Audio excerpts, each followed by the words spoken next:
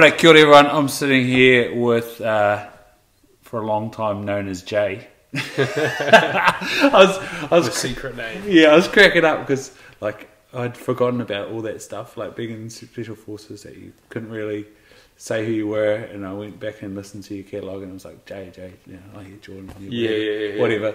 And then all of a sudden, the episodes changed to, hey, it's Fitzy.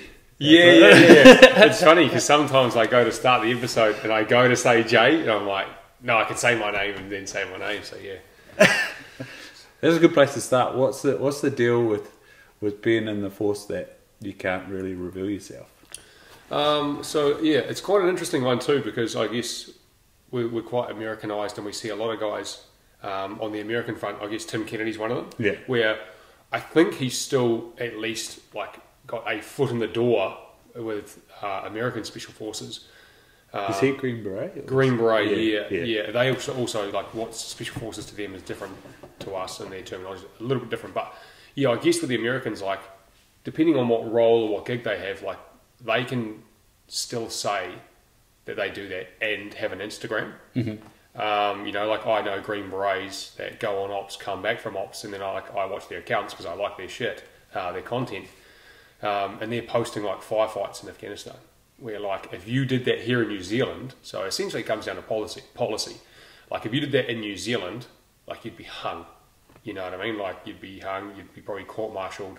Um, so not not actually hung, um, but you know you'd be hung out to dry for sure. Like because there's operational security and then PERSEC or personal security. So Yeah. I guess we're just a lot stricter. Like even to the point of when I was regular force and we were over in Afghanistan, like I posted nothing because they were just so tight. Like, do not post anything that can jeopardize operational security. So I'm like, cool, I'll just post nothing. Yeah. You know, where again, if you look on the American front, like you can have dudes downrange, like fucking in contact, like on Instagram. You know, it's it's just a real cultural thing. We're just really tight-lipped about who we are and what we do. Yeah. So yeah, I guess it's, I guess that underlying realistically, it's just policy.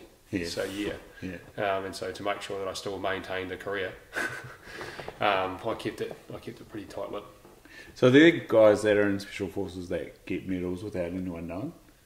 Um, I would say so. Yeah. Yeah. Like yeah, definitely in my time, I would have seen a couple of medal ceremonies that I don't know would have, that would have made it outside the unit. you know, and, uh, this this is going back to the Afghanistan days. You know, guys getting um, gallantry medals and shit like that for, Yeah. for doing you know putting themselves into harm way into harm's way um, on a spectacular level. And like you sit there, and nine times out of ten, like you know the guy, he probably trained you coming into the unit. Um, so they could be a corporal or sergeant by now, and then you're just like hearing their citation of what they did on operations, and you're just like, wow, that's fucking hardcore. And yeah, you don't know about it till the ceremony um, and no one else knows about it. It's just... Realistic, yeah, yeah, Yeah. it is very neat to know. Yeah, yeah. So then, like, um, I can't think of the name of the movie. It's on Netflix that Sebastian Junger made um, in Afghanistan. Is there any of that? going- No. It was, in, it was the one in Korengal Valley, and it was called Restrepo. Oh, yes. That's it, Restrepo. Restrepo. Yeah. Yeah. That's hardcore, right? That's nuts. Is there any of that going on in the New Zealand military, like getting our media in there or getting journalists in there or anything like that? Or Mm, I think on the New Zealand front, the only media we're getting is the likes of, um, oh, I can't remember his name. Slimy Journo. Pretty much the hit and run stuff. Yeah, Can't remember the journalist's name, that's how much I like him. Um, but essentially, no, when we get journalism, it's generally, it's not all, it's not always, it's not always, but I feel like generally in New Zealand, like if and and when the journalist or public will attack the military. Sometimes, you know. right. You Yeah, know, so you got the whole hit and run book um, instead of painting the good work we did. You know, like in other parts of Afghanistan, this is in, in talking, looking up to Bamiyan province now. Like in other parts of Afghanistan, compared to Bamiyan, like other nations are sitting there, you know, like leveling compounds and fucking blowing people to smithereens and Shit. all sorts of other stuff's going on, and they're in and they're in they're they're seeing a lot of combat and there's a lot of conflict going on. And then you look up to where we are in Bamiyan province, and it is different because there's a different, um, there, you know, there's, there's different tribes up there and all the rest of it, and how it all works, and different, I guess, eth- ethnicities within Afghanistan. Um, but still, nonetheless, like up in Afghanistan, in, in the mountains where we were, in the Hindu Kush mountains, like we're we did a lot of good work. You know, like there was the odd contact and stuff like that. But like, you if you're in contact, you know, you obviously fucking you're going to fire back. You're going to get amongst it and all the rest of it. But at the same time, Such a euphemism that a contact. yeah, yeah, yeah, yeah, yeah. yeah. Um, but you know, at, at the same time, like the amount of huma- humanitarian aid we had, the Yeah. relationships that we had, you know, like we had phenomenal relation- relationships with the locals. Um, we had phenomenal relationships with our interpreters. You know, like we've brought a lot of them back to New Zealand. Um, and so we did a lot of good work with, um, you know, we did do security stuff and night patrolling and like looking for fucking bad dudes and all that, all the stuff that you want to do as a young man. But you know, like I remember there were, you know, securing a, a drop zone and American airplanes are flying over the top, huffing food and supplies out the back. You know, like that's coming and crashing into the DZ, and we're working with the local warlords to divvy that out to the tribes and that so they can eat better over winter. And we're giving um, children school books and stuff, that, you know, colouring in books and pens and pencils and you know, like you got kids and adults running around in like plastic shoes, and so we're like taking proper warm kit, and Yeah. we're doing heaps of stuff. And their medical facilities are just underwhelmingly supplied, you know, and they are in the Hindu Kush Mountains, the middle of buttfuck nowhere. And so, you know, we're going in, taking a look at their medical facilities. The medics are doing phenomenal jobs, um, and, and looking what money and resources needs to go into improving the level of healthcare and stuff. But you know, all we get, I seem to see, um, is you know, journalists coming in trying to just find any bad thing like an SAS contact that happened. You know what I mean? And trying to murky up the waters there. Yeah. So, on, on the New Zealand perspective, how integrated are we as a military force, or are you guys self sufficient in, in terms of getting in there? You, you know, are you working with you know, how you getting there? Is that all Air Force? How you getting dropped in? Is, Yeah, so I, I guess I mean like how in an operational theatre, how self-sufficient are we? yeah, Um, one thing I will be, I will definitely have to be careful of talking on is talking on defence capability. Um, but yeah, to to to to, to most people understand and know. You know, like we are a small defence force. We have, uh, being a country that is more left leaning and is a little more green, we do have a, a smaller or tighter defence budget than most. You know, I think ours, I could be horrendously wrong, but I think our defence spend might be like 1% or 2% of all government spending. Um, and then so- a country like America, again, I could be wrong, but I remember at, at least at one stage reading um, 60%. um, You know, so like if we're going to an operational theatre and you're talking about getting uh, if you're talking about air support assets, if you're talking about vehicles, ammunition, supply lines, supply routes, um, all that stuff, it's American. yeah, You have to mind the knocking. They've now just put mirrors up there for posing. Oh, and right. sometimes you get people stomping around in High heels. High heels. Yet um, uh, Jordan's office space is in a gym, so yeah, and it's a bodybuilding gym at that, so we get people upstairs stomping around in high heels.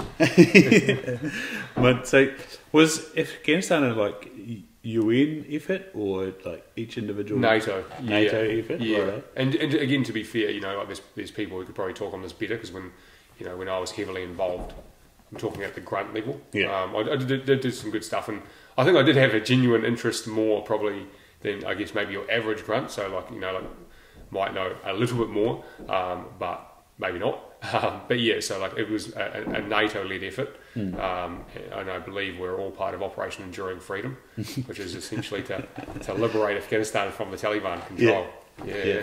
which is a really interesting story in itself if you look at how that all came to fruition as well. So what's the comms like? Like you said, you guys have cleared an area, got the drop zone ready, and then US come through and throw food at you. what's the comms like for that? You need interpreters. yeah, yeah. Like it is a shit show. Yeah. You know, like literally, I remember we had this one pallet coming in, and we're talking pallets of like rice, cooking oil, like we're talking bulk. Yeah. And so we got these pallets hurtling towards the ground. They do have parachutes on them, but like they're not going slowly, you know, like and these people just see this, you know, the locals see the stuff coming from the sky and they're just like, you know, we're talking these villages, they're not connected to the main supply routes. These are like we have driven like severely off road into like back country, back country villages of Afghanistan in the Hindu Kush mountains, like deep in the mountains.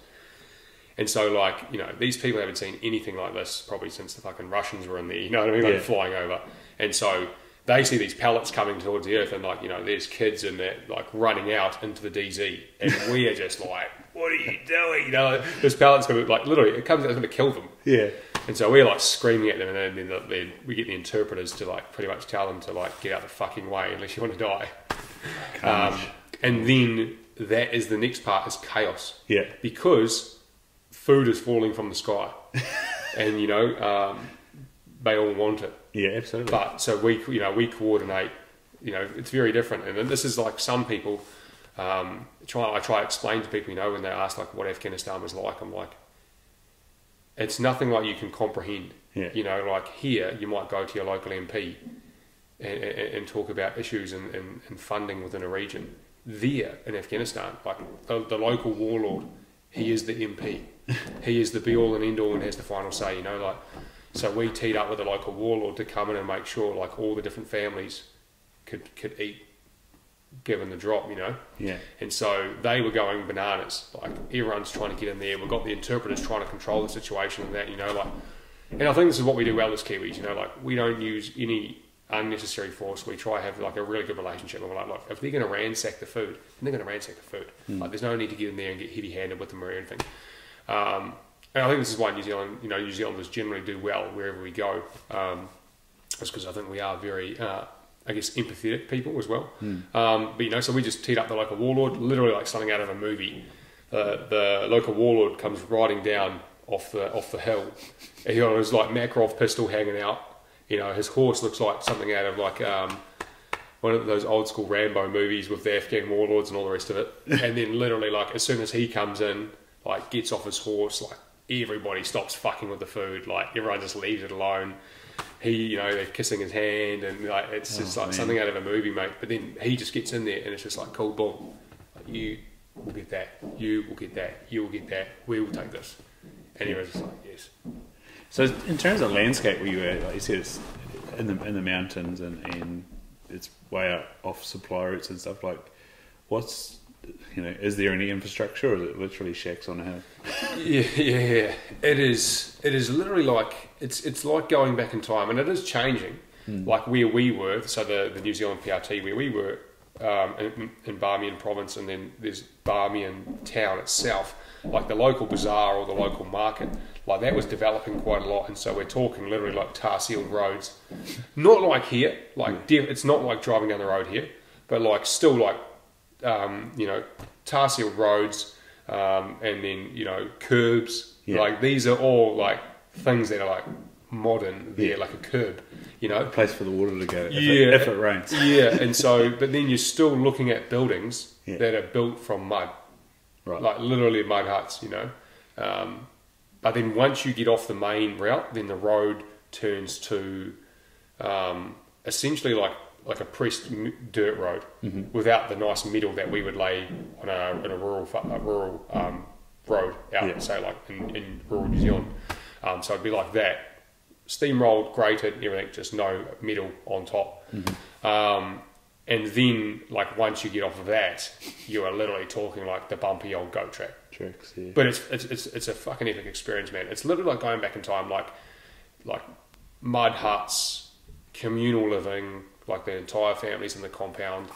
Um, you know, in summertime when winter's inbound, they're literally getting collecting donkey shit, mixing it with hay, rolling it up, and then pressing it onto the side of the buildings, which then hardens in the sun, and then they pull off these discs and then they burn them through winter to keep warm. you know, like it is fucking super old school. And we stayed um, when that DZ drop happened. We stayed with a local warlord yeah. And we slept in his lounge. I think it must have been his living room. Um, and yeah, when we left the next morning and got back to the FOB, like Which is what?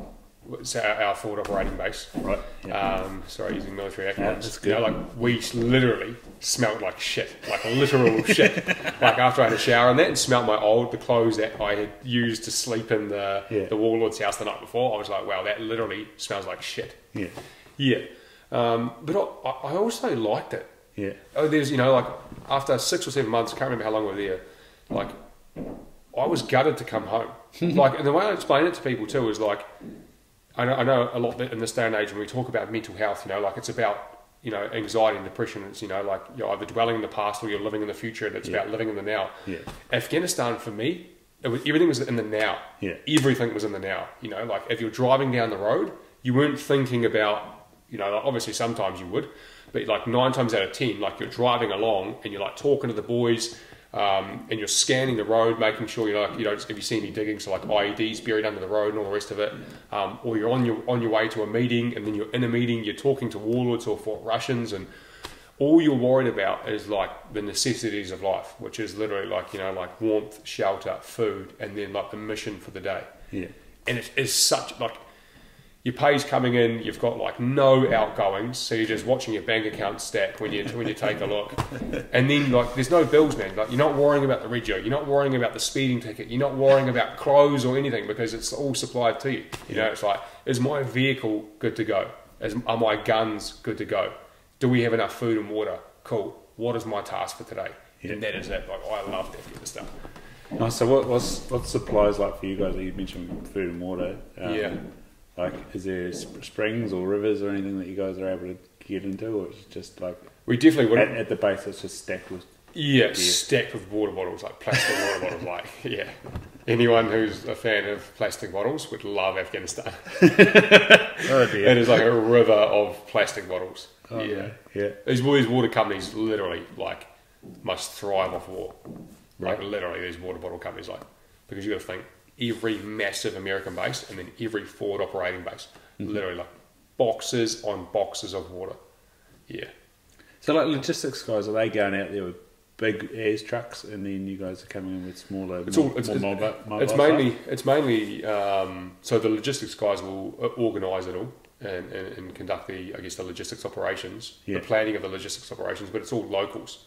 right. So we actually do br- bring a bit of a fair bit of work to the locals as well when we when we are there, because obviously road workers like the road workers are the locals, and Yeah. then so when I first got to Afghanistan, we punched way south, but it's we punched south, but you're, you're actually heading up in elevation. Um, so the southern part of the province, but you're heading up in elevation to like one of the, the highest parts in the province. Um, and so we we we punched out there, and then when winter comes, like we just got hammered by snow to the point like we couldn't get vehicles through.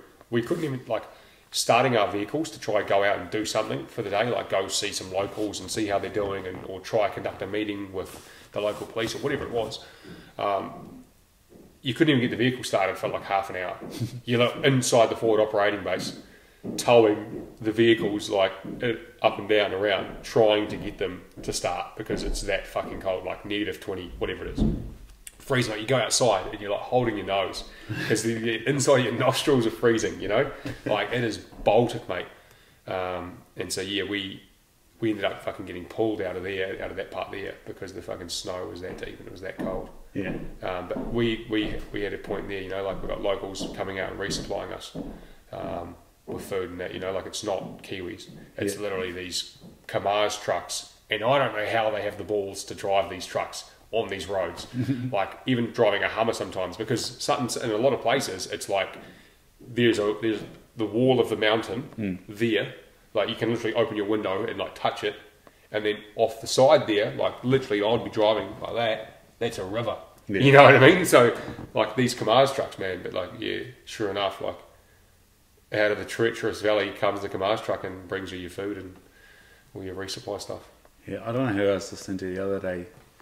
Um, had been over there, and so he's obsessed with Land Cruisers now. But he was talking about Hiluxes. Yeah, yeah, And I was like, man, that's awesome to hear that Hilux can like Oh. go to war. So, no, no, no, literally. There's actually an Instagram page called Toyotas of War. Yeah. Or something like that. And it's literally all these Toyotas over uh, on operations. And like literally, I, I know a, a couple of guys at least who after that trip came home and bought a Toyota. yeah, Literally, they're like, what what further testing could you possibly do? like literally, like we were just balls deep in snow, like digging through snowdrifts, like fucking two a.m. trying to get back to the main base. yeah, And these these vehicles, these Toyotas, they just keep going, bro. No breakdowns, no nothing. amazing. Literally, yeah. yeah. So on that, like with a team, like how how big can a team be? Like you, you start thinking like roading, like a surveyor, like um, roading engineer, a person that can drive machinery, and then you like then you need someone to service machinery, then you need someone service trucks. Like you know, how how big can a team get before it's just too many bloody people? Yeah, I I guess it would depend on uh, like the the context of the operation. So, like, if we were looking at, um, yeah, it would, it would be it would it would be it would be really dependent on the on the operation and then capabilities available and all the rest of it, and then. You know, there are essentially like force multipliers and assets and all that. yeah, that is one topic I would I would always be careful of talking about, like how many guys we're rolling out the door with Yeah. as well, just because that is like a capability thing. So yeah, yeah, and so be mission dependent. Yeah, and then I suppose your area, like you say, engaging with locals is also your relationship matters as well. Like, Yeah, is yeah. it friendly or not? Exactly. And then so like you know like say you know, like yeah if we're going to go out say and just do like a security job then we'll just take out essentially our team of infantry and then we've got medics, SIGs, all that stuff you know for, for radio communications. Um, obviously yeah the, the medics are there for enhanced medical support. Um, and then you got all your fucking your grunts all your killers um, or your security. Uh, not killers, security. Um, and then um, you know it, it depends what job you know we then we might go out to some place and there's a there's a there's a like I said there's the road there's the river there's a village that village could probably use a bridge yeah, to get their vehicles back and forth across instead of whatever horrendous route they have to drive to get their vehicles there, or wait for the, to the rivers low, or whatever they do. Um, sometimes they have some extremely sketchy bridges, you know. So we might go, okay, cool. We need the engineers to come out. So we'd go out first, probably talk to the village. What do you need? Nine times out of ten, they want a bridge or they want help with fucking supplies to build something to, to help improve their quality of life within the village. And then we're like, cool. And then an engineer, call sign, will come out with us on the next patrol. Hmm. He will do all his surveying and all the rest of it, and then he relays that relays that back essentially to like an engineering branch within the headquarters element, and that's filled with like American civilian contractors. And so they take that information and then it goes for funding. The funding comes back through, um, and then all the materials are delivered to the village. And then I believe usually, I think that usually they build it themselves, or an Afghanistan company generally will come in and, and, and build it. But yeah, American contractors do do quite a bit of work too. Yeah. So I guess it's like it's you basically are starting to elevate those hierarchy of needs. Eh? Like it goes like you know reach a back a beyond village, and it's like well we need food supplies, water, better water systems, better housing systems, and then it's kind of like right, we address that. And it's like how do, how is your connectedness? You know, what's your ability to be mobile to get access to education and health and all that sort of thing. Yeah. And so they did you find that it was like a pretty receptive idea as long as the interaction was friendly? I definitely think so. Like, did they have a broad horizon? Do you think? well, Like, obviously, if you're wanting food, yeah, no, food I- and safety, no, I- then, I- then that's probably your biggest ideal. no, honestly, honestly, like I, I, I think it would de- it would depend on the person and it would depend on the area. You know, like so we had some interpreters. One of them now lives in, in I believe he actually lives up in Auckland or Hamilton. Uh, a very very well spoken guy. His name was was Parwes or Pardwes, um, and he was like the conversations I had with him were like just as good as the conversation you and I would have. Yeah. Like very deep, the meaning of life, politics, the political underground in Afghanistan, like the truth behind Afghanistan. Like he was an educated guy, Yeah. and are- you know, there's some some fantastically educated people um, out of Afghanistan. Um, but I, bel I do believe, you know, like you're more likely going to get those people when they travel or go to live in, in Kabul Yeah. because obviously it's the city which has a lot of international people, foreign people, and all the rest of it. So, um, you know, like essentially, like they are no different to you and I. That's right. They yeah. just live a very different life, and so the lens that they see life through, yeah, is different. And like you said, you know, like your your reality is is ba- is or your no, sorry, like your ideologies are based off your reality. So for them, like their reality is is every year they literally like fucking Game of Thrones, like winter is coming. Yeah. You know, like literally, like winter is coming. Like prepare for winter. Yeah. Like they are literally going and finding every twig and fucking berry that they can find to hoard to survive out winter. Yeah. You know, um, and so when you do go and talk to them and you just like, you know, like, what do you want from us? Like, what can we do for you? Essentially, like, they are asking for low level shit. Mm. You know what I mean? Like, it's actually, I think a lot of people could benefit from going there. you know, there's a lot of people like, oh, the government doesn't do this, the government doesn't do that. You know, but it's like, well, cool, you can go to a country where these, you know, the government literally does nothing. Mm. You know, like it's all on them. Like their their quality of life is all on them. So you know, like when you do go to them and say like, what can we do to improve your quality of life? Man, they might want like you know a bit of money to buy some supplies, or they might want to yeah a bridge, or they might want help with giving the kids something to do. You know, that's beyond the norm. But in the same token, you also have to respect their lifestyle. Yeah. You know, like for some of them, like they literally they just want to live their life as they're living it. You know what I mean? They want to wake up, they want to pray, um, however many times a day they want to pray. They want to live their life um, in order to, to, to please God, Mm-hmm. and, and, and they do live a, a simple life. And I actually can really appreciate that because my time in Afghanistan, like I said, like I loved it. Yeah. I was like, well, like Westerners, like we really know how to complicate life. like we, we do, right? We do. You know what I mean? Like Yeah. we, we, we, we really do. And, and I'll even be totally honest, you know, like when I'm when I'm building Warfighter and that, and you go on Instagram and you see some dudes with like a really nice car, and they're like, fuck, Yeah. maybe one day, maybe one day. But then COVID hits, and you know, I'm like, you know what? Who gives a fuck? Yeah. Like, how much fun can you get out of driving a nice car?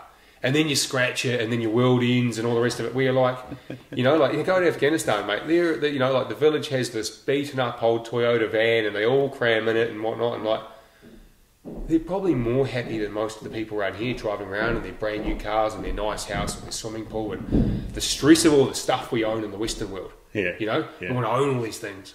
And that's why I think, you know, like fucking hunting is such a, a pure way to live a life as a hunter, you know. And I know there's a lot of people out there in the uh, left leaning space which may see hunting differently, but I see hunting as like that hunting, gathering, living off the land, like being out and, and being one and having a relationship with the land.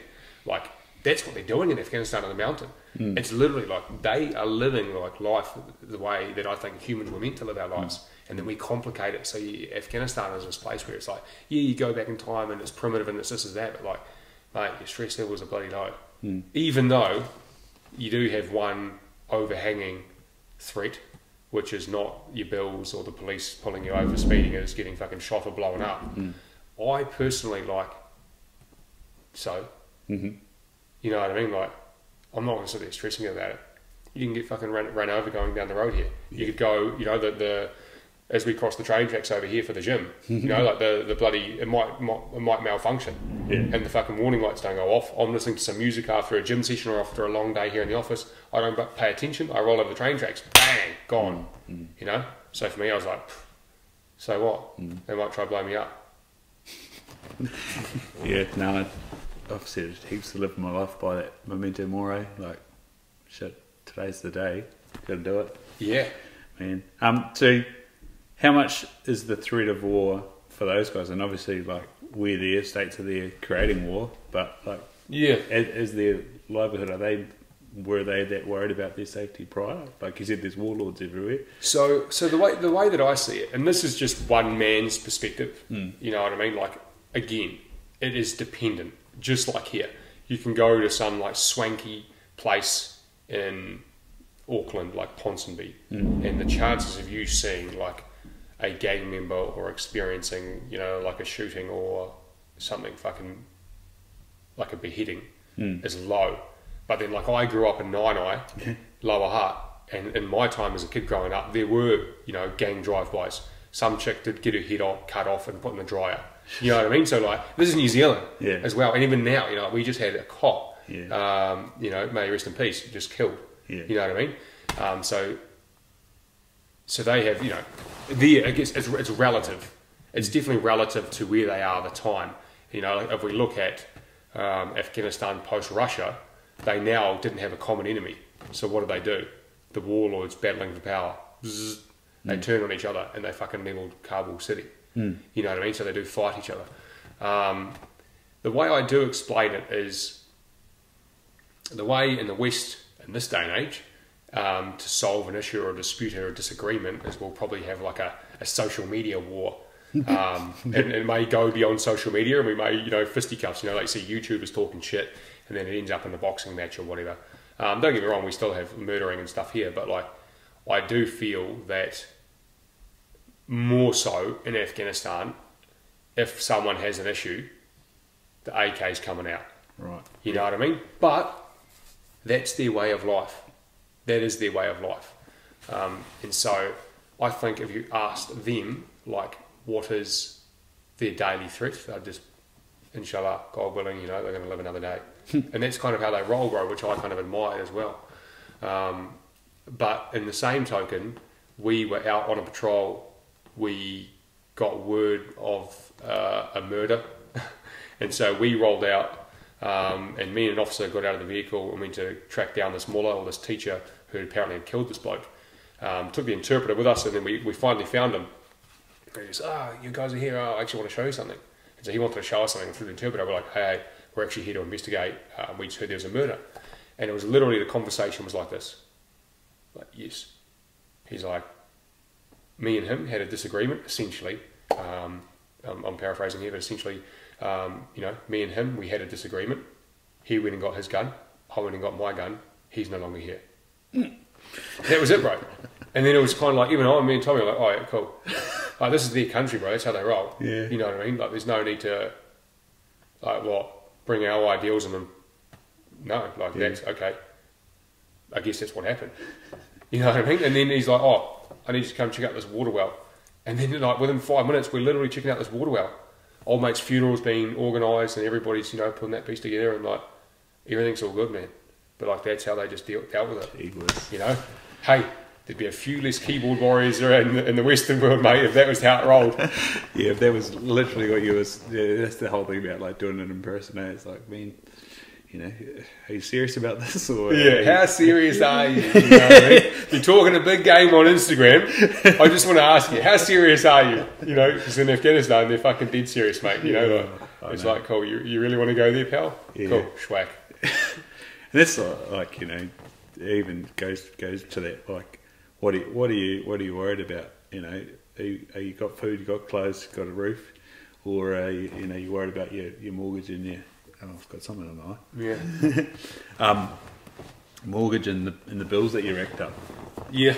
Yeah, yeah. So I don't know, and and it is it is funny. Like I've, I've been yakking a bit to you about that Aaron Aaron Snyder from Kafaru talking about ex- expeditions and yeah, once you you know out there to or even one day, even even like an hour once you leave leave society behind you, just to start like I say focusing on the now, Yeah. your bills, your your I don't know, children, your whatever is gone, and it's like right, what's the, what's my next step right Yeah. now? What's the next hill? Yeah. The next water break, lunch. it's just, you, you, literally what you're worried about or thinking about. It just comes right down again to Yeah. those like to survival. Mm. You know, Yeah. um, or just living, just living. Yeah. You know, how cool is that? I like, I like, I'm the same man. Like, um, you know, with Warfighter now, I spend a lot of time in here, um, in my windowless room. Oh, you're the same as me, man. Yeah, exactly, bro. Exactly. But you know, like when I get outdoors, it's literally just like, wow, I just feel so good. Yeah. Yeah, it is the irony of my job, telling everyone to get outside, and I'm sitting in there in a dark cave. yeah, yeah, yeah, yeah. Well, it's the same with me. You know, I'm telling people to get after it, and like Yeah. I'm still getting after it, but it's more in a business sense now than Yeah. you know, like go back two years ago and doing you know some cool shit. Mate, you've, you've got a, a little bit of, of my ideal in that there's a squat rack just there. You know, every every hour or so you could bust, bust out five reps and Yeah, I'm And- obsessive. That's my problem. give you. I oh, can't, I can't stop for a second. I need, I, I need to improve it over now. I'm literally like when I'm in here, eh, it's just hammer and tong, bro. Like, close the doors and yeah. get into it. Get, Yeah, yeah. get after it. But I do. I'm, I'm, I'm getting better at treating myself. Um, and it is good having the gym there. So I just like literally, even though I'm, it's a gym within a gym, Mm-hmm. it's still it's, it is nice to like at the end of the day sometimes just to still sit in here, and it's almost like active meditation. You know, like still sit there with my own thoughts, with nobody interrupting my thoughts or wanting anything from me, and just being able to get that workout. You know, like it's a place for almost self reflection or reflection on what I'm working on or what whatnot. But at the same time, just moving some tin and just you know getting those endorphins and the blood flow going from Mm. having my ass planted firmly in that fucking chair all day. It's a good chair though. It is yeah. a bloody good chair. It's, comfy. it is pretty comfy too. It's even got a cushion. Yeah, mate. These trinkets, you know, do you sort of look across and and um, what what do they do for you? Um, so yeah, no, this is just kind of some stuff that's been sent in a little bit, um, and it, it- yeah, it's just the room is a bit plain. Yeah. And so I kind of wanted to. The idea behind this this um, this here was to just have a bunch of stuff on here that kind of represents like myself and I guess the brand and whatnot. Yeah. And so like, um, you know, got a bit of gym gear here. Um, got the the MMA gloves here, so a bit of an MMA fan. Yeah. Um, motocross, riding dirt bikes. I so- actually sold my dirt bike in my Warfighter Pursuit. Yeah. Um, at some point in the future, I hope to buy another one um, because I actually missed the fuck out of riding. And then Gatorz is an American, um, I believe, veteran-owned company, uh, eyewear company. They sent me a bunch of kit, and I just thought their cases and stuff looked cool, so I put them on the shelf. Sabre Tactical was another New Zealand veteran-owned company. Um, Warfighter, obviously, it's my company. Yeah. That is the microphone Yeah, I thought that was a mi- microphone um, it's a windsock. Yeah, it's the old, it's the old, the old windsock. That's just sitting there because I was playing with it. Um, and then yeah, had uh, police officers send some stuff in. VetWad is an American company, um, and, and they do a lot of work around you know bringing attention to veterans and getting them moving out and doing fitness again, which obviously ties in. And 22 is the the number embroidered on the patch there. I think a, a day. America, Oh, there was right, just yeah. 22 veterans a day to suicide, you know. So um, they sent that over because we've done a little bit of work together. So fucking really like what that company's doing. Um, and then this here was sent from a guy out of Germany, um, and he's a medic, and I thought it was a pretty cool patch. But most of my actual like military swag, that stuff, people would actually probably want to look at, like I don't know, Navy SEAL coins and fucking Delta Force coins or whatever, like com- well, you know, units I've worked with over the years. That shit's all at home. All my medals and stuff, that shit's all at home.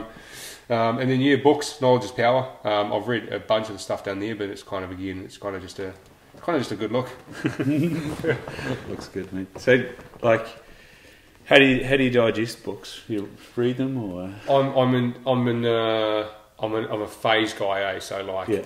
I'm I'm either hot on it Yeah. and I can't put the book down, or I start reading it and I'm like, nah, Can't do it right now. can't do it right now. Yeah. Yeah. Um, but there's some books, yeah, and there's, there's actually a good mix there between, I guess. Um, oh, that's a book I actually need to read. Um, that's good. It's reminded me. So there's actually a mix there now of yeah, military and business, I guess, and mindset stuff as well. But yeah, for me, for me, I think reading it's again, it's just an, it's just tapping into another a, another different thought process, getting a, a new way of thinking about something. Um, 'cause often I find, you know, some of these books, you read them and you think like, I kind of already knew that, but I didn't think about it like that. Yeah. Or yeah, the, the the messaging, the way it's told, it finally gets you to take action. You know, like Yeah. we all we all hear and see the stuff that we know we need to take action on in our lives, but until it's in the right format at the right time and it's the right message, we don't listen to it. Um, so you know, like definitely, I think I think reading is a it's a powerful tool eh, and worth and worth investing in. But at the moment, like I used to be, I grew as a kid. I was an obsessive reader, like Harry Potter. Like I would good, eh? That it. got me in. That got me into reading again. Eh? I, I remember Yeah. getting the first one for Christmas from Santa. and like, oh bloody hell, a book! Like what? What is this? And I must have had a lot long. Like where we go camping in Wanaka, there's nothing to do basically. Yeah, And so I jumped into the tent and I was like, I'll give this book a go. And I Yeah. think I finished it in like five days. yeah, yeah, yeah, yeah. It is good, eh? But I'm, I'm kind of in two minds, eh, now. Like, I feel in the past, if I got a book, just because I bought it, I feel obliged to read it. yeah. But now, and it's not to shit on the book or to say anything bad about it, but Jordan B. Peterson's 12 Rules for Life, Yeah. I think he waffles. Yeah. Right. And I now I like, and again, I think it's just a phase I'm at in my life. I think there's definitely like people out there, probably a fuckload more intellectual than I am, Yeah. who like the depth of the way he goes about explaining things. Yeah. But I read I read his first chapter, and it was it was a good chapter. Um, I actually probably couldn't tell you the topic of the chapter now, so it was that good. No, I remember reading it and thought, thinking this is really good. But he uses he uses the analogy and talks about um, lobsters and the way that they Yeah. interact and all the rest of it. Um, and I thought it was really good, but then it kept going Yeah. and it kept going and it kept going and it kept going. I was like, dude, like get to the fucking point, you know.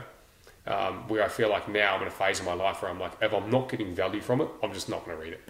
It's almost why I haven't read Twelve Rules for, for Life. I think, um, It's too in depth. yeah, I think like listening to him in Joe Rogan a, a much, you basically get the cliff notes in, in ways about. And I've watched a number of his talks on YouTube and things like that, and I, I sort of, you know, and, I, and I'm probably wrong, but I feel that the purpose of what he's saying comes across really well when he's when he's, He's saying talking it, yeah. He's talking it, and I almost feel like stepping into the book is is kind of like if this is the first book you're reading on how to bloody move forward in life and get yourself up, well then you need to get some context and framing and, and proof around it. And you know, you get to go like for example, uses the lobster like the evolutionary biology approach of like, you know, realistically we are an an- animal and these are our motivations and this is mm. how this is how our motivational system works.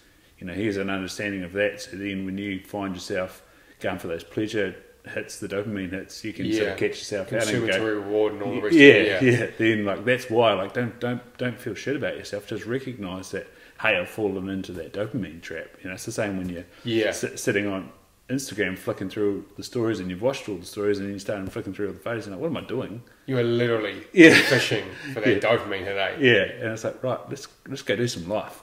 yeah, yeah. And I think, I think, yeah, I think there is definitely power in understanding, yeah, like you said. But I, I'm, I agree with you now. I think in this day and age, there's so many different ways to consume information. It's even the same for um, David Goggins' book. yeah. I haven't I- read that either. No, I, I love David Goggins. Yeah. I absolutely love David Goggins and what he's about. Um, he's done some phenomenal speeches. I'll listen to his podcasts or interviews that he's done or YouTube videos whilst running on a treadmill. Um, but at the same time, when I started hooking into his book again, like I feel like there's some periods there I'm like, but I think for me, it's not the book, it's not the author, it's not the way written. I think for me, I am now, you know, I am a, a father Yeah, and a business owner, and I'm trying to get my own fucking gym training in at the same time. and you've been through special forces already. As, but yeah, but as, as well as, and, and the thing is, I'm never like, oh, I've been through the pipeline. I don't need that shit. I still, I love to learn from people. Yeah. You know, like I listen to David Goggins and think, fucking wow. You know, like I can, I can, I can take stuff from that. Like I'm not perfect. I don't have it all figured out. But at the same time, of us are. I am fucking obsessed with my business too. So I'm like, cool. Like there was um, certain parts of David's book that I was like, this is fucking epic. Hmm. Um, so I actually I do recommend it. I've listened, but I've listened to it, Mm-hmm. which is handy because I can sit here listening to it while I was working. But there was one part where I was mowing the lawns, Yeah. um, and that's where I decided to get it in. You know, I was sitting there mowing the lawns, um, and I thought, fuck, I'll start on his book. But for me, for David Goggins, was because I had a shit start to life. Yeah, um, yeah. it's a bit of bipolar. Like I do have good memories. Like it's not all bad. Um, but you know, like I do have some fucking dark memories as well. Some real dark shit. And you know, or it's again. I'm always a fa- I'm a fan on perspective. You know, like something. Oh, my life's so hard, and I'm like, well, let's put it into perspective, man. Yeah. Like shit. Like life's good, man. Like Yeah. life's good. It's Yeah. good to fight for things, but life is good. And so, like you know, listening to David Goggins' book, I'm like, my fucking childhood was a fairy tale. Yeah, You know what I mean? Like my childhood was a fairy tale. yeah. And if anyone wants to hear that, like they should just go into your podcast or you know the podcast you did with Dave. Yeah. like you know hearing about hearing about your upbringing and it's like I say from my perspective i'm like man i've i'm so lucky so lucky Yeah. yeah But that's that's cool. I Yeah. love that. You know what I mean? Like I'm not resentful. Like when I see people and they're like, I've got an awesome relationship with my mum and dad. Hmm. I'm like, I'm so happy for you. Like I don't I don't know what that feels like. Awesome like I'm stoked for you that you have that. Hmm. You know what I mean? Um, and so I think that's also a cool thing too because it comes down again, once again, to like, which is another thing I love about David Goggins, which is about like, it's not poor me. You know what I mean? Like when he's telling his story, it's not like, oh, poor David pat his little head. He's like, no, fuck no. It's like, yeah, I came from that fucked up past. I made these mistakes. I was this person. I did have a shitty childhood, but this is who I am today. I wasn't born this way, and you know, and that's and that's the same thing with me. Like I'm not telling you like about getting my fucking head bounced off the walls and you know, or posting you know the house that I grew up in for you to go, oh, poor little Fitzy. It's like no, no, no. It's like what I'm trying to say is like if I can come from that fucking mm-hmm. shithole, mm-hmm. if I can come through that adversity and be not a bad dude, and be doing some pretty cool stuff, some pretty exciting stuff in life, then so can you. Yeah. You know what I mean? And so, like, all I hope is like whether it's a dude in a midlife crisis in search of meaning, or whether it's you know like a little Fitzy, you know, like he's out there and you know he fucking loves his mum and he loves his family, but you know like from time to time she's like bouncing his head off the walls, and he ca- he, he can't understand it. You know what I mean? Like this is the person who brought him into the world, and he's fucking sitting there and his ears are ringing and his face is numb, and he's just like What's that about? like why am I getting this like hiding? Like what is Yeah. like what is this about? Like and when the fuck do I get a break?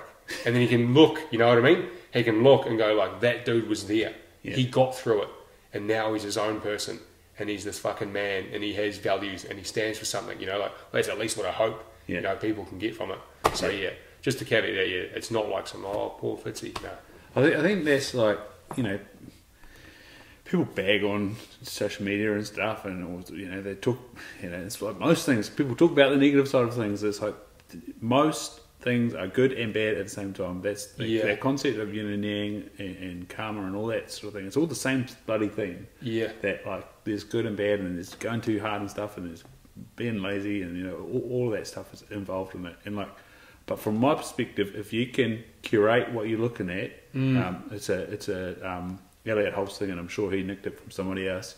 Um, is is like what are you brainwashing yourself with? Yes. Yeah, and so that's what I hope with this podcast is like gives examples to people to like prove it to yourself, and like sa- same with like David Goggins, you know, and, and Cam Hanes. It's like when I was talking to someone the other day about I love Cam Hanes. yeah, he's, he's a champ. I was talking to somebody the other day about this this ultra, and it's like, well, I'm not the first bloody person to do an ultra marathon. Yeah. You know, it can Someone's done it it. can be done. Yeah. and it's just, it's the same same how I've been sort of looking at. Um, you know, separating from my partner and, and being away from my daughter. So I'm not the first person that that's happened to. You know, No. stats on that pretty shit too. Yeah. But, Yeah. but like, and, and I'm, I'm always, you know, I'm always lucky, but I'm lucky that I have some really epic guys in my life that Yeah. have been through all that, and I've been able to talk to them about it and see that they're doing the best that they possibly can. And, and from the outside looking in, it seems to be a good job. Like, you know, Yana with Justin last night, it's, you know, like, it, it, it's hard. It's like, but like, all of life is hard. Life even, is hard. Even in a relationship, life is hard. You know, Yeah. There- there's, Well, it's a compromise, right? Yeah. You know?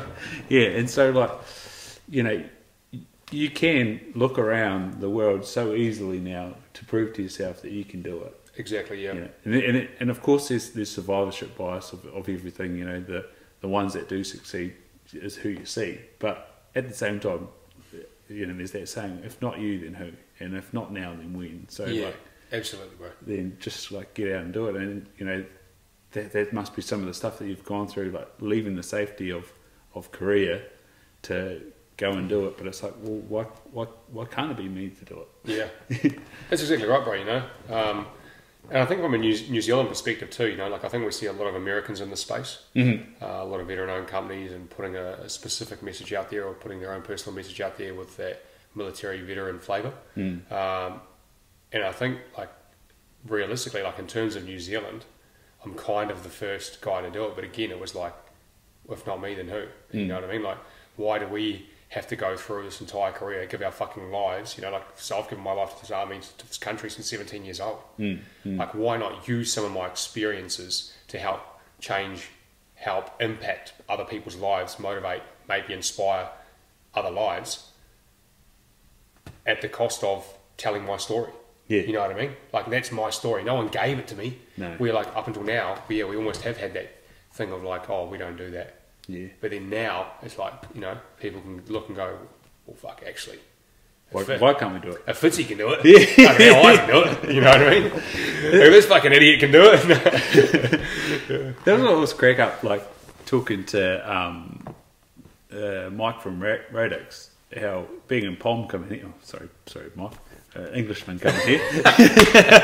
yeah, call me bastard. yeah, Englishman coming here, and, and he's just saying, I do not get this um, tall poppy syndrome. He's like, It's I- I, eh? don't understand it, and like, you know, obviously you got a bit worked up about um, Izzy the other day, but on the whole, yeah, he's an awesome, awesome dude. Yeah, I did. Yeah, I did. yeah. but like, and, and that's the same thing that he said at the Halbergs, and it's like bloody awesome. It's like why why are we as a country, you know, got this Halberg award, but then um, the moment we see anybody do achieve something, we at the same time cut them down. It's like that this there's this big oxymoron like we'll give you the award or you'll win the gold or you'll win the World Cup, but no, you're a dick. You know, like Oh yeah, as it- he's had it bad too, man. And he like the, the reason why I have been a fan of his for so long is because he breaks the mold Hmm. of like a New Zealander, which is like yeah, yeah, no, we did all right on the game, you know, Full uh, credit. full credit, you know, from the team, uh, you know, like, and, and to me, like I think I think some of it is a good portion of it is it's like fake humility, it's fake humbleness, Yeah. because on the inside they think they're the fucking man, you know what I mean? And then it's a bit at the same time, it's just like why can't we be happy that we achieved something? But in the same token, even I've, I've experienced it, you know, like through the grapevine and through the rumour mill, you know, like when I was building Warfighter up and was starting to be a success, like I had haters, bro, from within this tiny special operations community. Hmm. Like there were dudes fucking, you know, shitting on, oh, what's that about? And again, instead of going, oh, well, Fitzy's really building this platform to impact people and to motivate people and to inspire people, it's like, oh, it's all about me talking about myself. Hmm, hmm. And he's fucking promoting himself. And this is like, you're not even listening. You're not listening to what I'm saying. You're just seeing what you want to see and you're, and you're hearing what you want to hear. Yeah. You're not actually looking at what we're doing. Yeah. It's about fucking inspiring other people through telling our story, about telling about our success. Yes, yeah, okay, because that motivates and inspires people, but also talking about failure and having the humility to talk about failures of, you know, failing special operations selection and all the things that I've failed at during in, in my time. Yeah. You know, and, and that's the story that we're telling. But again, New Zealand, it does, I think New Zealand has a long way to go yeah, with embracing people um, who are successful and for embracing people who are also confident. You mm. know, like mm. because for so long, probably up until the last few years, like I have always been an extrovert. Like when I think back to being a kid, mm. you know, like I was a real social kid. I loved you know reenacting movies and taking the piss and like having a laugh with people and like being a little loud and um, you know getting in trouble in class and whatnot. Um, and then it, it definitely in the military has a long way to go. like literally, like so after joining the army, like at 17 years old, like especially the, the New Zealand Army is the worst, man. Um, it really is. It has the worst, like at make and making you believe that being an extrovert is bad. right, Literally, for the last few years, I have always thought like being an extrovert, like me being an extrovert, is a bad thing. It's a weakness of mine. I've always thought that. yeah, Up until the last few years, when I've started listening to guys like Gary Vee, yeah, you know, because even special operations, it's like, oh, the grey man, the grey man, the grey man. And then you get to special operations, you're like, what fucking grey man? It's all just like alpha males, it's like fucking, yeah, on the burst. Nah, it's not, but it, it's like, it's alpha males and it's so competitive, which is great and it makes a phenomenal environment. But then there's this narrative told about the grey man. Yeah. And I'm like, the grey man's like, the, incongruent. it's like the 5%. You know, like 5% of the dudes in the unit are grey men. The rest of them are like fucking testosterone fueled alpha males, and everybody wants to be the champ. Yeah. You know, which is good because that literally drives the pursuit of excellence. Yeah. So, you know, you're on the range with the boys. It's like who's faster, who's more accurate. You're in PT, who's fitter, faster, stronger, who can go longer. Yeah. All those things. So it's, it's great for culture. But then, yeah, again, you know, like, it's like the messaging is kind of like, oh, if you're an extrovert, you might want to pipe down. But now down. Tone it I see my, you know, extroversion as a fucking strength. Hmm. It's a strength of mine because I have the confidence to get up in front of people Hmm. and, and, and talk, you know. Um, and I guess that's probably where I actually did start to realize it was a strength was when I was starting to get, get given a lot of training roles Mm-hmm. um, and, and, and, and training guys and, and giving speeches and giving talks on, on certain things. It was like, cool. And the reason why I'm comfortable is because I am an extrovert. And it's not a bad thing. It's a fucking good thing because I can get up here and confidently talk and professionally represent my team. You know, so but yeah, definitely in New Zealand, long way to go. Yeah. So on that, um, like extroversion, I, I, especially since doing this podcast, I keep going back and checking. And like, am I still extroverted? Yeah, I did it the other day. Still extroverted. but um, but um, yeah, like obviously, as you just brought it up there, working with teams and stuff, that means that you've got to really. It's it's a fine balance between leading and running away with it, and then being um, observant and open Yeah. to to the response of, of, of the message you're putting out there. You know, you can get caught up in the um, here we go team, follow me, Yeah. and someone out, out the back being like, what about this way? And and you don't hear them.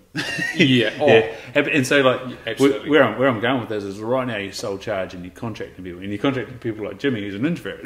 yeah, yeah, Which has been a great experience. yeah, Yeah. Um, but Because he's creative also. So. oh, he's amazing, isn't he? Yeah, yeah. But then, like moving forward, you know, if this goes how it should go, Mm. then it's going to be into that team team environment. So how do you? And it's danger close. Yeah, There are days where I'm fucking drowning. Yeah. Like literal, literally drowning. Yeah. Like I'll have orders coming out of that machine. Like, yeah. oh, it's sore after COVID when the Yeah, yeah, yeah. and stuff it was like you were printing off reels, mate. Oh, yeah. Need more labels. yeah, literally. But um, how do you sort of approach management? Like, and, and obviously in, in teams, you, you have to do a bit of it. But Yeah. how, how where's your mindset at right now in terms of management? Yeah, no. The, the, the cool thing is, was um, I got to work in, in some really cool small teams, Yeah, um, and you would almost think that being in a small team, um, you know, it would make leadership. They talk about small, so you think about like a big infantry. You think like about a, big infantry platoon. It's kind of what the platoon sergeant says goes yeah, you know and you think like oh you're in a small team if you're a team leader you're only you're managing less people so it must be easier but what you actually get in small teams is more opinions and more ideas and stronger personalities. Yeah. because we can sit in a, in a circle like this and we're planning a mission or we're planning a course of action or whatever. Um, and you've got thinking soldiers you've got thinking men. This is the challenge of special operations. Um, and sometimes when it's your turn to lead you do get to the point where you're just like can you just shut the fuck up and just roll with my plan for once, bro? Man, stop questioning. stop questioning it. Fucking roll with it. Um, no, but I've, I've had a lot of cool experiences where you know have been given the opportunity to to lead Yeah. um, and to lead alpha males, and then I've also been given the opportunity to go back on my junior leadership course, which the New Zealand Army does really well, um, which is developing junior leaders. A lot of time and effort go, goes into our junior leaders and leadership courses compared to that of the likes of like America and that. Like ours is, courses are substantially long, um, and I thought the training was, was, was pretty good.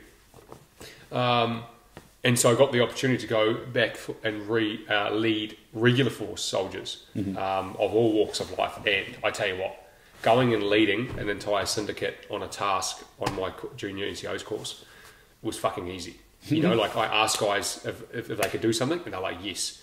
And um, give them the opportunity to, pr- to provide any thoughts, feelings, opinions into the plan, and they give it to you, and then they just leave it. Right. Where like in special operations, it's like, oh, bro, what do you reckon? And then it just becomes this like overbearing thing, and it's like, if you could just stop giving me your opinion now, that would be great.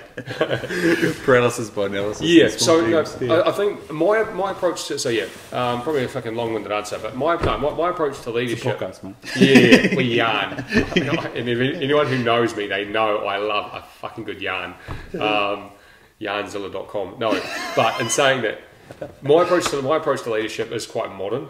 Yeah, You know what I mean? Like I do, I do have a strong personality, Yeah. but at the same time, I do. I, I think, especially in this realm here, Yeah. where it's business, like I'm humble enough to know that I don't know everything, mm-hmm. and I don't have it all figured out, and I don't have the answers, and that I need to be open. Um, and I've seen leadership done in the army many different ways, mm. and I know how I respond.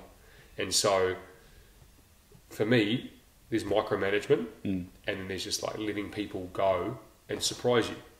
What's, the, what's the term that Jocko uses? Like distributed leadership or something like that? um, I don't know. No, no. Yeah, Go listen to any Jocko podcast. Yeah, yeah, yeah. hear it. Jocko, like the way, so essentially how like Jocko Willink talks, yeah, is, is, is that's I think where you want to be. yeah, It's giving people the free reign to take ownership of the task yeah, instead of sitting there micromanaging.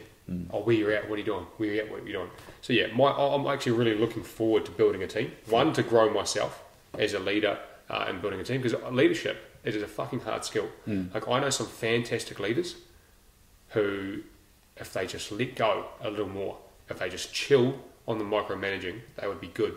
Mm. Because in other areas, you know, that, that, that genuinely empathetic that you have a life outside of this career, outside of this job, and they want to know about that. Um, this is my last leader, fantastic guy, you know, like really personable. Um, he would make plans. He would be conducting courses of actions and all sorts of stuff, and he would ask for your input. You were part of the plan. You developed the plan. He took on board your feedback, but he was also strong enough to go, mm, "I don't agree with what you're saying, and this is why." Yeah. And then he would let you have the rebuttal at the same time, and then he'd be like, "Right, cool, go do that." But his one fault would be the micromanaging of your time. After How you going with that? How you going with that? How you going with that? And then you're like, "Cool, I'm done." And then question that if, if you really are done. Yeah, yeah. You know what I mean? That was his one downfall. But no, I've had some really good leaders. Now, he was one of them. Um, I guess he was the first leader that I ever had that I really saw um, empathy become the strength. Like he really cared about you as a person. Up until that point in the army, you know, like it was quite, quite like the abusive father style of leadership. You were the number. Yeah. Yeah. Or, yeah. Or two, or like the bro. All right. Two bro, you know, like, oh, bro, do you mind doing this? It's like, bro, you can just tell me to go do it. You know what I mean? Like, you are my fucking leader. Passive aggressive type Yeah. thing. Well, not aggressive, but yeah. But just like extremely passive. Like, do you mind doing this? It's like, bro, it's my job. Like, I'll go do it. You know, just tell me to do it. You know, it was too nice. Yeah. Yeah. No, I've, I've, I've struck that little um, at work. Um, I guess it's because I have this sort of in between role. Like I'm an optometrist, but I'm not a director. And then some people come to me like, "Oh, would you mind?" I'm like, so of course, that's what I do. Yeah, yeah, yeah, yeah, yeah. Chuck them in there. Book it, book, you know, enter the numbers. I'll see the person. Type Yeah. stuff. It's like, yeah, let's let's roll. Let's do it. yeah, yeah, yeah. Good, good, Yeah. good. No. Um, so where, where have you gone in terms of the nuts and bolts of business, like accounting and, and taxes and, and, and corporating and all those? You know, you look at starting a business and you're like, man, that's a lot of things to do first, and we haven't, we're not selling, we're not selling anything yet. Yeah, yeah, yeah, yeah. this is a topic I actually fucking love talking about now. I, um, it's funny. I've still, I've still obviously got my passion for the for the, like, the military and, and, and the fitness side and all of it, but like actual like nuts and bolts business is it's I love because I think it's a new challenge. It's something new.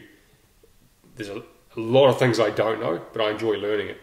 And so I guess again, someone physically doing helping you with that, or just essentially Google? no yeah no no no essentially it's literally youtube. Yeah, Yeah, it's youtube it's podcasts it's literally that. Yeah. you know what i mean? Like we are so lucky in this day and age. Hmm. Like when i first started warfighter i had the idea for warfighter and i knew where i wanted to go with it i just started the instagram page. Mm-hmm. Because i think in 2020 and 2019 and when i started in 2017 at the end of 2017 was like first things first is like you need to build a community around your ideas your values um, and, and the ideology of your brand right? do you know a thousand true fans? yes Yeah. absolutely and that's what it's about right Yeah, um, and so at the same time i was like cool i'm going to start the social media I don't thing know who made that up, by the way.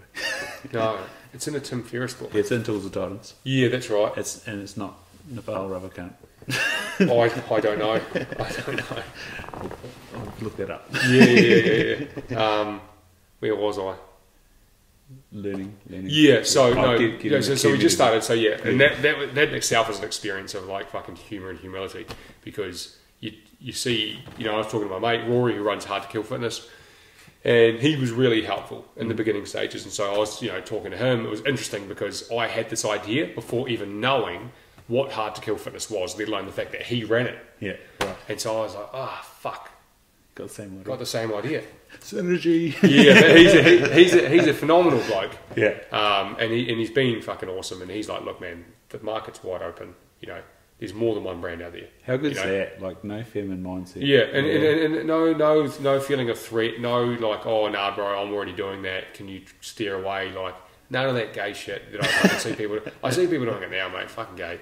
Um, and so I started building that. Put a post up. Yeah. First ever post. No likes. no likes. Do another post.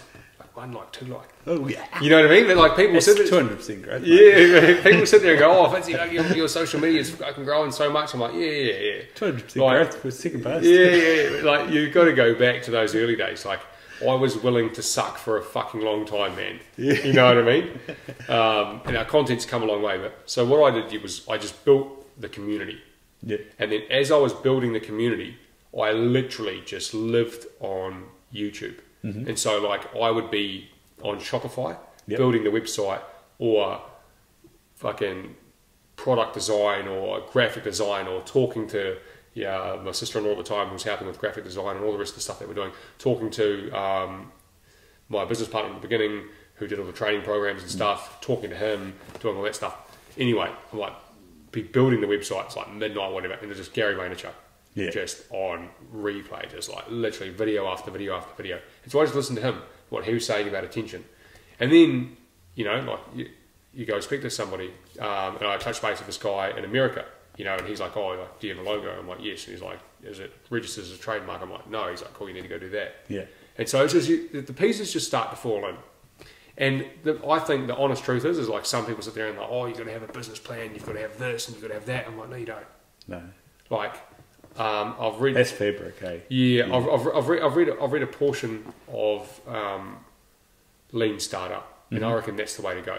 And it's about because I, I know a lot of people they want to start their business with everything perfect, and it's just like trust me now, it fucking never will be, and you will always see an improvement. You know what I mean? You always see something that needs to be fixed, something that can be improved.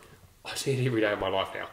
Oh, we need to improve that. Oh, we need to improve that. Man, I want to make that better. Man, I want to take that to the next level. And you can only do one thing at a time, or a couple of things at a time. And so for me, it just started building, and it's like, okay, cool. We need to register as a business, and so it's like, how do I do that? How to register as a business in New Zealand? Go on the company's website. I did it wrong the other day. Yeah, did you? Yeah, I um, tried to do that, but I didn't do the check part first, so I wasted 15 bucks. I was gutted. Yeah, nice, nice, like, nice. yeah, no, you can't use that name, it already exists. I was like, oh, damn, I thought this part was the free bit. yeah, yeah, yeah. No, no. yeah, so That's, check, another, that's another part. Of it, is yeah, it's literally a name. check, check the name, then register the business. Yeah, yeah, yeah. I haven't gone back and made up a new name, but anyway. You haven't? Paul, I was uh, once bitten, what is it? Twice shy. Yeah, yeah, yeah. Oh, mate. no, yeah, unimportant for me at the moment. But Yeah, yeah. yeah, and so I, I guess my advice to people is like, if you're going to start a business, do something that you give a fuck about. Hmm. You know, start building an audience and a community, and instead of just like thinking about how you can transact from them or have some sort of transactional relationship. This is what I got from Gary Vee, hmm. and he's always my north star. If I'm ever lost, I put on Gary Vee, and I'm like, that's right. I need to provide value. Hmm. And so, like, that's my other thing is like, you know, like, do something you, you actually give a fuck about, something you're passionate about, build a community around it using s- social media platforms that are out there and available. If you don't, you will fucking suck. Like, you need social media, no matter what your opinions are. I didn't even have social media. Mm-hmm. I deleted it all, and then I started building it back. Mm. Um, and then the, and the third thing is just like provide fucking value. Like, what can I do for these people to help them with whatever they what it is that they need, they need? Like, what I think they need? You know, so for me, looking at like the military fitness market, people interested in you know it's training. You know, some of them don't have money, mm. and so like I'm going to give free workouts. I'm going to give free training programs. I'm going to write blogs on how to improve your pull-ups. I'm going to write blogs on how to improve your run times. I'm going to reach out to guys who have been through Ranger School and ask them to write a blog on how they prepared for Ranger School. Mm-hmm. Just constant value. Like, what can I do for these guys? Um, and it can just be entertainment as well, like putting up a funny video, like giving them mm-hmm. something to laugh at. Yeah. You know, but that helps build your community over time. And then, yeah, along the way, obviously, you know, like you're going to need your ones, ones and zeros. Mm. But like, I just did shitty accounting for so long. And then now we're at the point now where it's like, okay, cool. Like accounting matters, and I understand that now. I didn't. I didn't used to understand that. You know, I was like, I just keep selling shit. Like, who cares about the numbers? Like, am I selling shit? Yes, cool. We're good. You know. Um, As I heard, heard the other day, um, uh, when it comes to business, if you're uh, getting more money in than what's going out, then you've got a successful business. yeah, yeah. Hey, that's not bad logic. That's not bad it's, like, logic. it's amazing how many people don't don't uh, take that one into account. yeah, yeah, yeah, yeah. And that's the thing too. There's there are a lot of businesses that run at a massive deficit. Yeah. You know, and, and people don't understand that.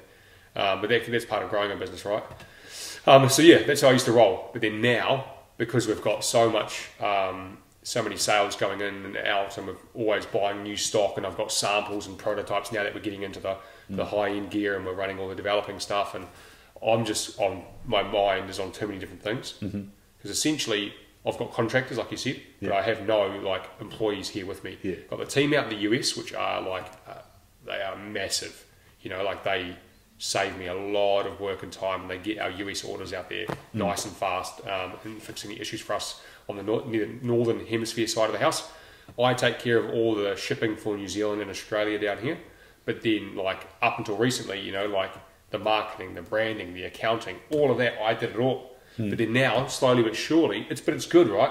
Because I now understand each role, and I, I have, in, have invested in courses and in training on how to run successful Facebook ads, hmm. how to write good ad copy, how to do Facebook targeting. All these skills I never had that I mm. now have. Mm. And the beautiful thing is, is like even if Warfighter died tomorrow, those skills are with me for life now. Yes. You know, so and the good thing is now is I can run Facebook ads, and I've now just started working with a New Zealand marketing team. And to give context to that, I've last year I would have burnt twenty grand US, twenty thousand US dollars on using two marketing companies that sucked. Literally, Yeah. spent twenty grand and it's gone. That's what I mean. Like this is a whole new fear, like conquering fear, new challenges. Like I know in the beginning, like that sort of money, that would give me a fucking heart attack. Yeah. And now I'm just like, cool, that sucked. I learned a lot. Let's move on. You know. But then now, because I've invested, because I've been through bad marketing, through shitty companies, I'm now with this New Zealand company that's phenomenal. They use performance-based results, so they make money when they make you money. Good. If they don't make you money, they don't make money, um, which is actually it is revolutionary. Like other companies don't do that. Um, and so now when they report back to me, I know what shit.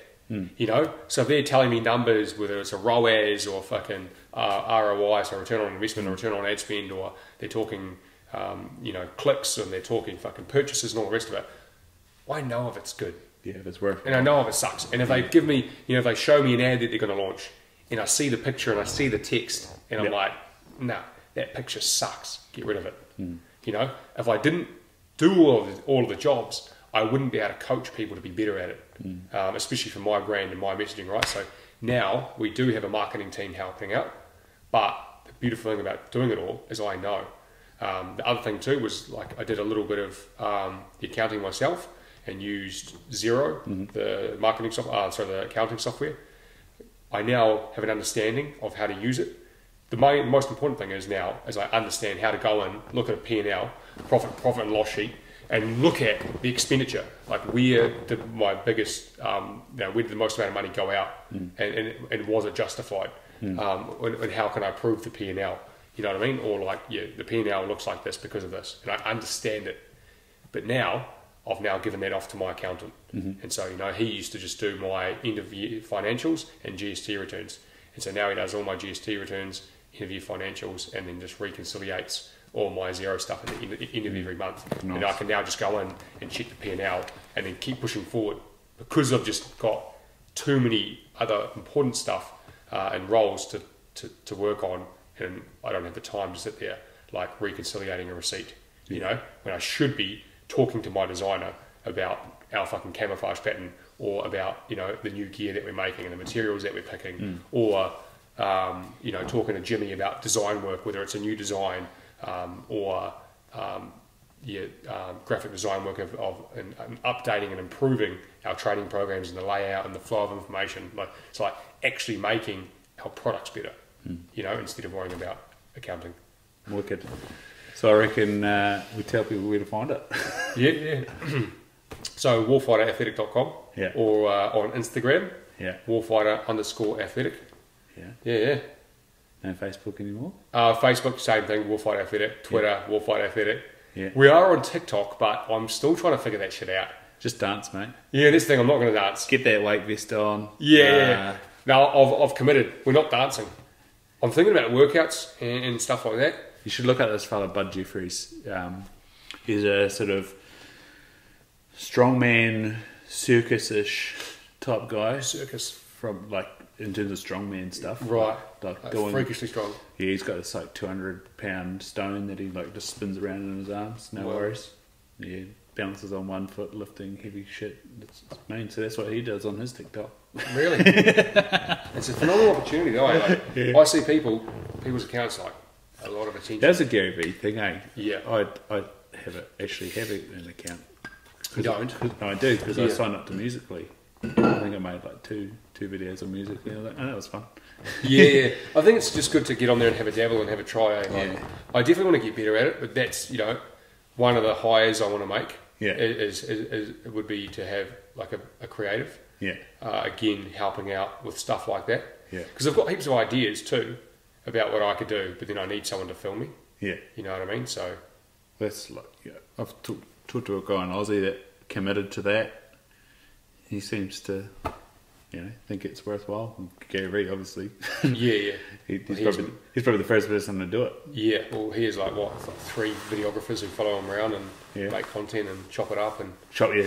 yeah, oh, Actually, that was probably like the last Gary Vee thing I did, which is what motivated me to start clipping my podcast. Yeah, yeah. I haven't quite got to um, getting subtitles on it because that's part of the thing for Instagram. Lots of people are watching Instagram on mute. Yeah, So if you can have the podcast um, Subtitles. sub- subtitles, then they can watch it on mute. Like I've Mm. watched a few Russell Brand clips like that, and I was like, oh, yeah, got to get it done. got to get it done. Got to Yeah. learn how again. Got to learn how to like put in subtext that goes across the page. I'm sure there's just a filter on bloody. Oh, I think there's got to be an app, surely. yeah, there'll be something. There'll be something. But yeah, no.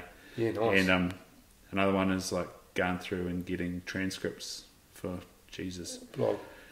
It's going to be a lot of episodes now. it's a Yeah, big yeah. work. there's, there's a company out there, right?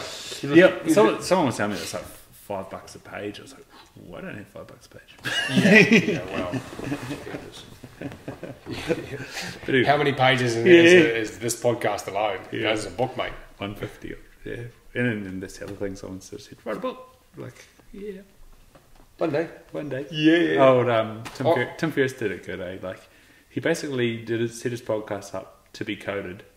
And so it's just a simple search function of where did I ask that, like, have the transcript, simple search function of the question, and then grab the answer, lay them all out. He probably just had like a room full of post-it notes of, of question and answer for those key questions, and then compiled it into a book. How good, eh? I was like, man, it's a genius idea. And that's what I reckon too.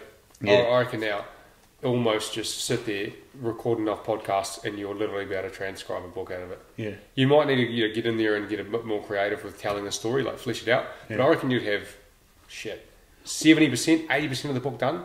Well, the fact that he, you know, brought Tools of Titans out, and then a year later he had Tribal Mentors, and that was just from an email interaction of 150 people, like for an outstanding book. He, that guy asks good questions. Really? Yeah, outstanding book. Like a lot of the same people that were in Tools of Titans are in Tribal Mentors, but it's just a different perspective, different like intelligent question, Yeah. and and obviously to intelligent people that answer it in fascinating ways that you Yeah. like never would have thought about. Yeah, Yeah. and it, I think Tim Ferriss does some good work, but I I, I find his ideology behind the four-hour week work week repulsive. I literally do. I think it's disgusting. and he, he, he's he's walked back on that big time as well. Yeah, yeah, yeah. I'm um, just like, you are selling to the lazy, bro. Like, you know what I Yeah, mean? drop drop shipping's an interesting idea. Eh? I did read it end of last year, you know, and like you said, a lot of the content in that book's no longer relevant, but. Yeah. There, you know, like anything, there's gems. There's gems Yeah, there, there's de- there's definitely good stuff in there too, like the whole you know VA system and all the rest of it, virtual you know virtual system and that. But I I personally think if you're going to build anything meaningful, Yeah. that you genuinely give a fuck about and that you're genuinely passionate about, yeah, like drop shipping and virtual assistants and all this shit, I'm like, that's just turning setting money. up the work to do no work. Yeah, you're setting up the work to do no work. You don't really give a fuck about the customer, the end user, which then, for me, goes back to the question of like, like what is your mission here? Like, what is your purpose? And if it is just to make money, um, and then you don't really care about the end customer or the end human Yeah. who is separating with money, then I'm like, you need to look at your moral compass. There's some of that Aussie fellow that always pops up on YouTube, eh? And it's like, you know, he talks about like the margins on all these, you know, doohickeys and widgets, and um, but then what irks me as well is it's like you, you're telling us that these widget drop ships are so successful and you make so much money. Yet here's you on YouTube trying to sell us course. instructional courses, and you're like, well, is it actually making you? Why, why do you need to worry about selling your course? That's what I don't get to, and that's where I've been realistically really um, impacted by Gary Vee too. Is like the way Gary's set up yeah. is his business makes him the money. Yes. You know what I mean? Obviously, his keynote speeches make him money too, but his business makes him enough And his money. investing decisions and the fact that his platform's so big that he can try and lev- leverage his uh, investment decisions is also quite good. it's very good, but and, and the fact of like he can help you and me for free. yeah. He can do YouTube videos for free. He's not trying to sell you a course. Yeah. There is no, you know, like five thousand dollar course. With so many of these people, there is. Yeah. You know, like even someone as like influential as Grant Cardone, like he gives out some good information there, but on the back end of it, he I is don't know who that is. Grant Cardone is a massive US businessman, great personality, really extroverted guy, full of energy, full of life. He kicked, you know, drug addictions and all the rest of it, and, and became like extremely successful. Nice. But same thing again. Like I love Grant Cardone, but at the same time, like if you go to a keynote speech, at the end of it, he's going to try to sell you to one of his business seminars. Right. Where like Gary Vee is like that, like is for free. Yeah. You know what I mean? And so that's what I that's that's my goal. My goal is to be like to have Warfighter so successful that I can help people and do things for free. Hmm. You know what I mean? Like I don't have to charge. Where at one point in time I was looking at, you know, doing consulting on the side as well. You know what I mean? Whether it was like goal setting, mindset, helping people start their own businesses and stuff. But I'm like, nah, I don't want to charge for that shit. Yeah. I just want to do it for free out of the kindness of my heart. You know, be that role model I never had. And uh, the funny thing is, is literally the other day I got an email and I need to reply to it. Um, was I got an email from uh, a cadet unit, like literally army, like little army cadets. I think they're 13 years old, um, and there's a warrant officer there, um, and he's asked me if I could come in and, and do a bit of a speech to these 13 year old cadets. Working. And I have to say, and and I said to the missus, I said, I don't know what it is. I said, it's freaking hilarious. I'm like, this is one of the most things I've been excited about in a long time. Yeah. You know what I mean? Like, I'm excited about the warfighter stuff and what we're working on, but in terms of like just something with life happening, you know, like getting asked to come speak to 13 year old kids, I'm like, oh, pumped, bro. I'm still pumped. Like, I, I can't wait to go and speak to these young boys and just to go and tell them, you know, like, this is where I was and this is where I am now. Like, Yeah. You can do it too. You know what I mean? And like, what's your goal? Like, who do you want to be right now? Yeah. have them all write it down. I've already thought about it, you know, like have them all write it down because one thing that I talk about a little bit is, you know, when we were kids, we dreamt that we would be X, Y, Z, and it was all these amazing things. There was no limiting self beliefs. We didn't That's hold right. anything back. Like, man, I'm going to be, you know, if it was, I'm going to be a lawyer, I'm going to be a doctor, I'm going to be an astronaut, I'm going to go to the moon, I'm going to, I'm going to be a, you know, a rugby league player, I'm going to be an All Black, I'm going to be something amazing. You know what I mean? Kids don't answer me that question anymore. Honestly, I don't know. What are you passionate about? I don't know. What would you love to do? I don't know. Do you have a career in mind? No, no, nothing. And like, if they're like seven years old, I'm like, well, guess what? You have got plenty of plenty of life ahead of you, man, and you can do anything you want. Like, Yeah. if you don't, if you don't have anything now, shit, you, You- start, and hopefully that question goes, well, man, what do I want to do? It, it's, it, it's crazy the times have changed like that, though. eh? Like, why? Maybe- why and it that? might be that, it might be that like parents aren't home to ask that question anymore. Yeah. um, you know, because everyone has to work, both people have to work. They're, they're at home and it's worrying about the dinner when you get home, worried about getting the kids to bed when they get home, that you don't get their chance to say, you know, what, you know, what was the most amazing part about your day today? You know, what did you love doing? You know, what are you really looking forward to this weekend? You know, we've got school holidays coming up. What would you really love to do? Yeah. You know, what it's funny, we have those conversations with, with our daughter. Awesome. Yeah. Yeah. It's one of our things, you know, like, what was your favourite part about today? Yeah. And she's like, hmm. Um, my favourite part of the day was you coming home. Yeah. And then she's like, Dad, uh, what was your favourite part of the day? you know? And it's quite a cool conversation, though. Yeah. You know, like, or you can talk about, like, oh, like, what are you doing this weekend? Yeah. She's like, oh, I think I want to go. You know, she's not even five years old, mate. Good. And Good. she's literally like, oh, I think I might want to go swimming, um, and then I want to hang out with rah rah. You know, Yeah. you're like, and that, that's so cool, Like, so cool. Like that's where sports so awesome, like goal setting and future thinking and, and like putting yourself in, in on the victory podium, visualization, all that sort of stuff. You learn that through sport, and it's so adaptable to life. Oh, Like, 100%. Mate, I wanted to be. A, I, I have an obsessive personality, in case anyone didn't realise. But Me too. yeah, but like, mate, I had the full bloody fireman kit when I was little. Yeah, I, yeah. was, I was into it, and then like, um, then I was going to be a PE teacher in, in Queenstown because I just wanted to take the kids snowboarding and skiing all, all winter, and then go mountaineering and adventure racing and all that sort of stuff in Worth Que- it, yeah. Queenstown. And, and then it's like, then I s- literally sat there watching my brother get his eyes tested, and I was like, now that's the shit. I'm going to do that. Twelve years old, and it was great because it meant like going through school. What do I need to do? Oh yeah, I've got to do this. Got to do this, yeah, Got to do this. Got to do this. Got to do this. Next step, and then I was like back to sport. It was like, It's interesting though. Like, I- I'd love to ask you the question. Like, where do you think that came from? You know, like, do you think it was just who you were? I'm again lucky. My my man's a run coach. He, he's a coach. Yeah. Uh, both my parents went to uni, so they like you know did steps to create careers and things like that. Yeah. You know. Yeah. So Because I feel like, like you just said, you know, like you ask kids these questions and they don't know. But like even going through school, you're like, oh, if I'm going to do that, then I need to really focus on these Yeah. subjects. But I feel now, both my grandparents were my grandfathers were coaches as well. Like my my dad's dad coached rugby league, rugby union, Mm. basketball, rowing, boxing. Um, my other granddad, he was like he coached um, for swimming in, in Chicago, like Right, life, yeah, life yeah. member of the club, life member of the of the um, of the region. You know, like so. I guess like lots of modelling, eh? Like of, Yeah, of, yeah. of how how to improve, how to get better, the tips you take. You know, it's Yeah. not about what you are today; it's what you what you can be. Yeah, So, yeah. like, yeah, so you you you had some strong people to emulate, yeah, which is how we learn as kids, Yeah. emulation. You know, so yeah. And that's, That's that's, like, That's really like, cool, Like man. you say, like with your daughter, that power of just again, the Aaron's not a podcast. I've gone on about it so much. There's so much good shit in there. I need to listen to it. Yeah, I'll go for it, man. But like he, that's what they were saying. Like it's especially as fathers, is about the time and the actions that you model, especially to daughters. Like this is this is what you should expect from a man. You know. Yes, You I love that. Yeah, you know, and then the hope is that you don't have to be the person to tap them on the shoulder to say, "Hey, like that that guy's," you know, you know, and maybe it comes from being being a bloke that probably made some average decisions as a as a teenager, but Yeah. you know, like so you- you're aware of how young and dumb guys are, but, oh yeah, but at the same time, it's like hopefully you can empower, you know, your daughter, um, like, oh, what's her name? Um, Elizabeth says, you know, try try teach your daughter boundaries, and I was like, yeah, that's that's that's a really good thought to take through. Like, you know, this is me, this is what I stand for, this is where I go, this is what I expect Mm. from, from someone, yeah, and um, I'm happy enough with myself to say, look, thank you, but no, yeah, yeah.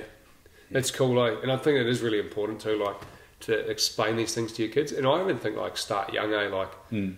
I mean, not going to sit here and like fucking preach or claim to be the fucking the parent who has it all figured out, but definitely, definitely not. Um, but at the same time, you know, like um, I work a lot. Yeah, You know what I mean? Even though I work a lot, I still think I'm a fucking like extremely hands-on father. Like I want to give myself that compliment. Like Yeah. I am a really hands-on dad. Like the fucking missus can go away good, and leave me with the kids Nice. like overnight, Yeah. days, weeks. You know what I mean? I mean, don't get me wrong, I can be fucking hard with the business, but like I can do it. You know, like I change shitty nappies. Yeah. I can give and make bottles. You know what I mean? Like where I know there are blokes who struggle to do that shit. yeah. Um, Get up in the middle of the night. Oh, I've got to go to work. It's like, well, your partner's got to get up and Function. parent all day. yeah, yeah, which is fucking tiring. Yeah, Um, but you know, like I do work a lot as well. Yeah. And so, like, even you know, on a Sunday, like I'm in the office, you know, but like, I, I, we explain to my daughter why I'm here. Mm-hmm. You know what I mean? Like, and we don't talk to her like she's an idiot either. Mm. Like, you know, hey, honey, I'm off to work. You know, and, and I'm off to work because you know, Dad pays for the house, Mm. pays for the food, pays for the toys, and when you go out to on play dates, you know, like Dad has to pay for that. Mm. And she's like, okay, cool. And so she'll even come up to me and like, oh, Daddy, off to work. I'm like, yeah. She's like, you, you go to work so we can have all these things, eh? And I'm like, yeah. And she's like, you go to work so so I can have money, eh? No, absolutely not. So That's I it. could have money. Yeah, yeah. definitely not the second part. no, cool, man. So, uh, I don't know if you've heard my finishing off question. It's um, what's something that shows up in your life always that, like, whenever you're in flow, that kind of mentality shows up. It can be like quotes or, or a way that you live your life. Like, what's something that you'd share with people of, of how, when things are going well, it, that's why. Like, kind of. Yeah, I would I would almost be yeah. I'll answer it when things are going well, but I would almost argue it the other way Yeah, when nice. things aren't going well. Good. Um, and so for me, um, it is one of those like entrepreneurship and, and taking risk in life. You know what I mean? Like entrepreneurship is a risk when we when we put ourselves out there and we go for a goal. It's a it's, it's, it's a risk. You know what I mean? Like um, it's the risk of you know we, we, we have these fears and there's the risk of like social embarrassment of failing. You know what I mean? Like we're scared that if we fail, what are our friends and all these people going to say about us? Um, or it might be financial investment. Um, you know, we're going to put all this money in and hopefully it's going to come back out. If it doesn't, again, you know, failure. How am I going to feel about that? And so sometimes when we are getting after a goal, when we are chasing anything meaningful in life, um, there is stress and there is pressure. And I, and I find some days, um, I don't know why, but I feel the pressure more than others. There's other days where the same stresses and pressures and challenges are there, but I'm just fighting through. Um, and then there's other days where I'm sitting there and I'm like, fuck, I'm really feeling the pressure today. Um, but what I do is I'll get to the point where it's like, cool, like it doesn't matter how much I work, I need to go get a workout in, and then I'm going to go home and I'm going to sleep, and then I'm going to wake up tomorrow. And then when I wake up the next day, I literally, when I wake up, when I'm driving to the office, I literally will say it like almost the entire way here. Like with all that, I know what I'm coming into. Like I'm coming into a fucking shitstorm. Um, it's a, and it's a day of scrapping and it's a day of hard work, and I just need to get after it. I just keep telling myself, new day, new opportunity. New day, new opportunity. New day, new opportunity. And it's just my way of programming my mind, of, of saying to the world, like, fuck what happened yesterday. Today is a new day, and today I have a new opportunity to get after it, to achieve that goal, to get this thing done. And so that's my little thing is like new day, new opportunity, and it's just simple and easy to remember. But yeah, Well, good. This has been awesome. Uh, hell of a time down on the Kapiti Coast. yeah, yeah. Uh, Justin, eh? Hang out with Justin? Justin. Yeah, Had a- little had potty here, and swim the Mana Marina. is it cold? That was good. That was Yeah. good. I think my feet are still cold. yeah, good though. Good for the soul. yeah. Well, good. We'll wrap it up. Thank you.